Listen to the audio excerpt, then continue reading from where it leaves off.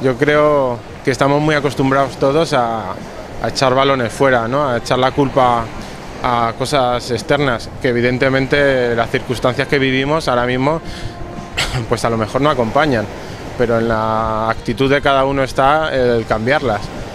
Desde luego el hacer ese positivo, os aseguro que esto no es, no es fácil y es fruto de, pues de un año de trabajo y que está hecho en base a una ilusión y de trabajar sobre eso, sobre esa, con esa actitud de llevarlo adelante. Nosotros no somos ninguna multinacional que tengamos un respaldo grande eh, y todo está hecho a base de, esfuerzo y ilusión. Desde luego, ser positivo no, no pretende enseñar a la gente ni a cortar el pelo ni nada de esto. Lo principal es la, la principal finalidad es transmitir ilusión y motivación, ¿no?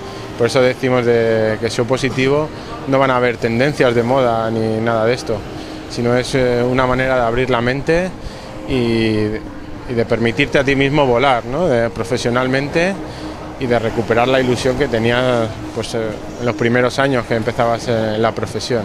¿no? Creo que es importante. Esto también es curioso porque cada vez encontramos más gente interesada en venir que no tiene nada que ver con el sector, ¿no? Porque se siente atraída a lo mejor por la persona que viene a hacer la conferencia, porque tampoco son personas que, que a diario puedas ir a un pabellón a verles porque las entradas son muy caras o bien porque son eh, circuitos un poco inaccesibles para, para la, la gran masa y nosotros sin embargo lo que buscamos es poder acercar esto ¿no?